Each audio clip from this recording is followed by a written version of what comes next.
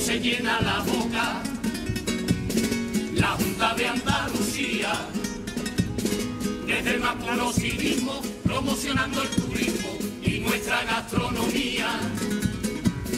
Y sin embargo se calla la sinvergonzonería que en Cádiz están cometiendo y hace tiempo está sufriendo la escuela de hostelería. En una ciudad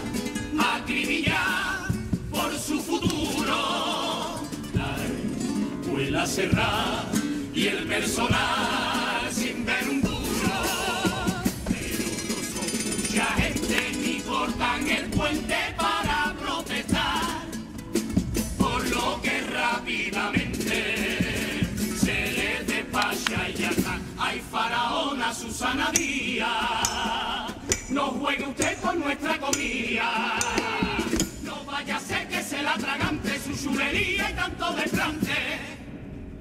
Que la tierra mía, ay, faraona de Andalucía, que la venganza se sirve fría. Tenga cuidado con mi ciudad, que es una de tantas comilonas, con los varones de su partido. Si un camarero le tira el vino y que te lo veo en la comida,